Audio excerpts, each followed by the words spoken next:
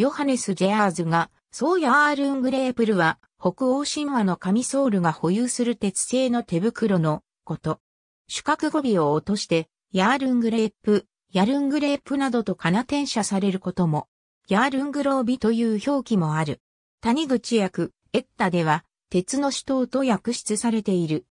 スノーリのエッタ第一部、ギュルビタブラカシ、第21章で、ついのミョルニル、力体のメギンギョルズと共に、ヤールングレープルが、ソウルの三つの重要な持ち物の一つであると語られている。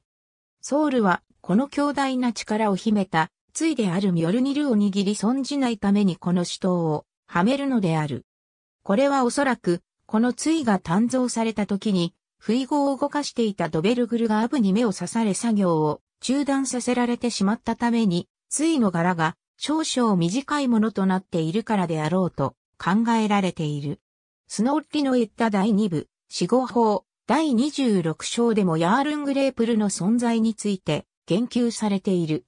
ある時ロキが巨人、ゲールロズルに捕まり、ソウルをミョルニルメギンギョルズヤールングレープルを持たせずに、ゲールロズルの元へ連れてくるという条件で解放される。ソウルはゲールロズルの屋敷へ向かう途中、ゲールロズルを快く思っていない女巨人グリーズルから彼女が所有していた杖、力体、鉄の手袋を貸してもらうことで、ゲールロズルを倒すことができたという。ありがとうございます。